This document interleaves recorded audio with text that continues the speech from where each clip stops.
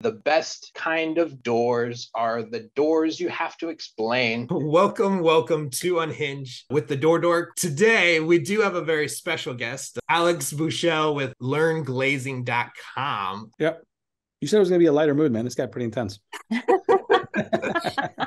yeah, well, let's let's jump on to the next one. Let, next right. one probably a little bit lighter. Are you ready? Oh, that's fun. That's fantastic. All right. It took me a second to realize this was two pictures. Two All right. different doors, um, but surprisingly, the same company is servicing them. I honestly don't think that company did these installs. These feel very homemade fixes. Oh, absolutely. This is all Yeah. definitely added post. I mean, you can even see that they didn't even use all of the screws on on that little Yeah, um they they like ran out of uh, nuts and bolts or uh, or rivets, I guess. yeah, but then like the, the left one and the bottom right one don't even have one. They're like, yeah, yeah, like, yeah, that'll hold it. yeah, that's But also, like this one in particular, what what do you notice about it?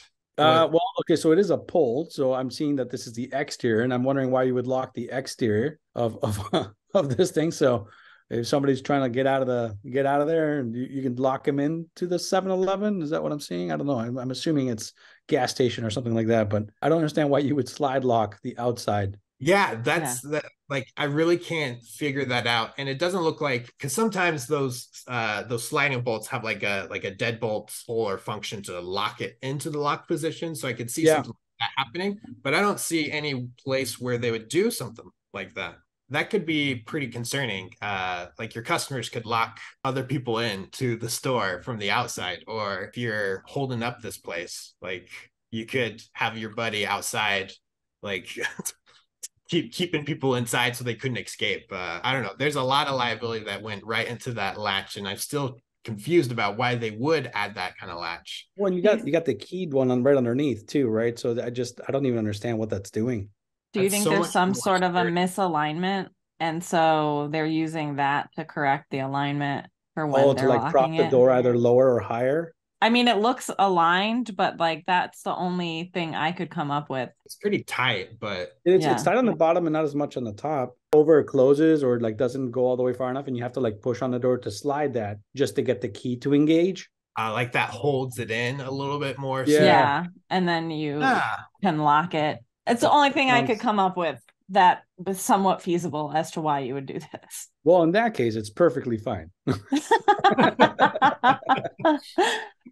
Um, and I I didn't like, say if reasonable. I said feasible.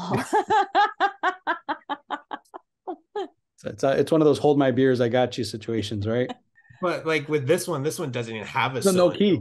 Yeah, that's no, perfect. No key, but it, I wonder if it does have a deadbolt on the inside. Spoiler alert: the key's on the other side. Oh no. So are we still inside the store or are we because it's a pull, which is weird? This, this is the exterior. Yeah. It These looks are like these exterior. two- Where two are different- these in relation to each other? Are they completely different facilities, or is this like on this face and the other one's on this face? I know it's gotta be the same place. I, I think it's on one side of the door and the other side of the door, like it, like on the on this building. So like this is like there's the main entrance, which I And there's feel a like. side door. But again, someone could like anyone that has a padlock on. I'm like, oh, you're closed today. That right there looks super sturdy, anti crowbar. That's fantastic. These are these are funny. I have not seen these images either. Oh yeah, right in front of the, the instructions that people don't Yeah. remember. What, what what am I supposed to do with this door now? Like, I'm just supposed to pee you this door? Poop poop. So so the, the question is what you know, okay, so if the pull sign came first, why didn't these guys just move that up a little bit or down? Like why did it have to be right in the middle of that sticker? they wanted it right there. I don't know. It seemed like the place to be. Maybe that's where they needed for it to engage the leaves together or the door to align. Did you take this? No, no. Okay. No, I love the fact that you can see what look like possibly even uh, steel toe boots and some rough jeans that look like it's somebody in industry recognizing the the problems here in the reflection. Yes, for Yeah. sure. Someone that knew better took these uh, photos. What if that hasp is one of those turn hasps? And that's all they're doing to secure it. You know how sometimes you put the hasp in and then the part that the padlock goes on in turns Wow. so it's perpendicular to the thing. And they're like, good enough. We'll do you think it that. turns? Like we'll it do just the turns slide closed? bolt. That, it that, that'll hold it. That, that flimsy little hinge right there is gonna keep uh, I would love to see how many screws are on this thing too on the backside. Well, and the aluminum frame too looks misaligned, like where the There's hasp something a little strange going on there. Like it's like two steps, but if you look down, it looks like it's the seams together. well, it's definitely obviously two pieces, right? But I'm just I'm not really sure what I'm looking at there. I'm gonna go a lot higher on my rating on this thing for sure. It's I don't feel hard. like putting these type of locks on the outside makes sense, and then having the key one on the inside. Obviously, there's no access from the outside, right? So if somebody forgets to unlock that one from the inside too, now you got to worry about that being a egress. Like there's there's a lot of weird stuff going on here. Yeah, I mean, this being a gas station, they're very limited on emergency egress, uh, like doors. So that's Mm. that's big no no on uh means of egress. So And you have to have two, right? No matter what, there has to be two. So it depends on the occupancy, but most of them, yes. In in a retail environment, you have to have a minimum of two. Uh, So if like this is the same building, imagine that somebody forgot to undo the one and somebody accidentally latched the other one, or any combination of those. Now you're down to one. Yeah. Um, I'm I'm hoping that they have a back emergency door because this could lead to some really scary situations really quickly. If someone with nefarious intent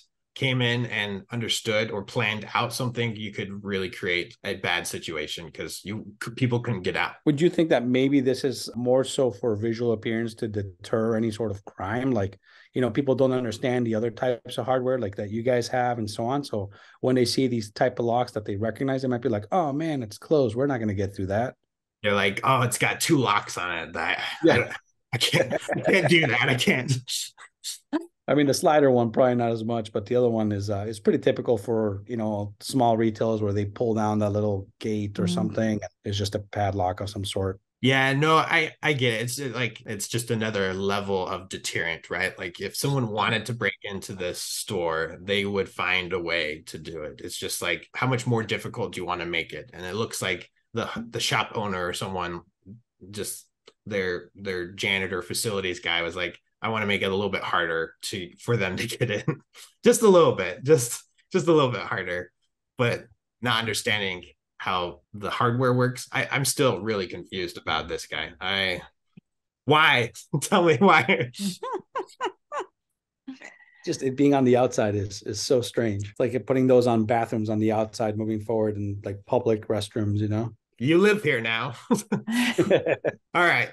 Any last comments? No, I mean it, it's almost hard to even talk about this. It's just so strange and ridiculous at the same time, where you're just kind of like sit back in awe. That's that's crazy. I'm I'm gonna go much higher. I'm I'm gonna be probably like in a eight to nine range here. The doors are probably still functional as long as this little add-on isn't engaged. What's concerning, and I might have already said this, like anyone can engage that add-on. You could be exiting the store and not like the uh, people in there and think it's a hilarious prank to to just throw both of those up.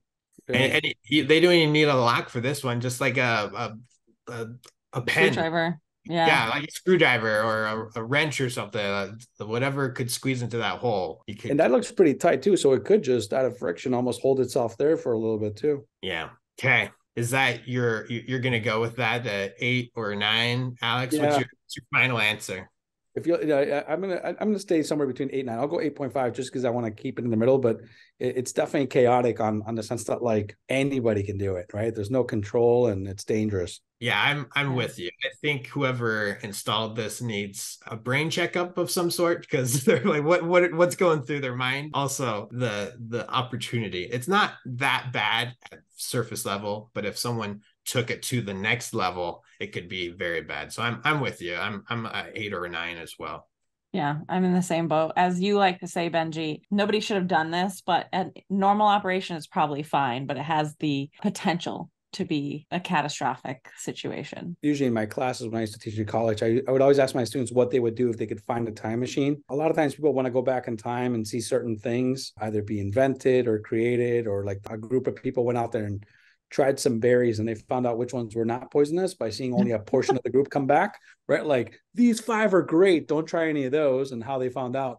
But often I also wonder, like, I would just love to be there while people are having these conversations and solutions almost just like a fly on the wall like just watch this develop from uh, idea to installation and what was said just to really see what people are thinking that that's what i would use a time machine for Anthropologist. right there. That- That's right. Alex, it was great having you on the show. Thank you so much for joining us. Thanks for your time and your insight, your your your glazing perspective added some unique insight to these unique door fells.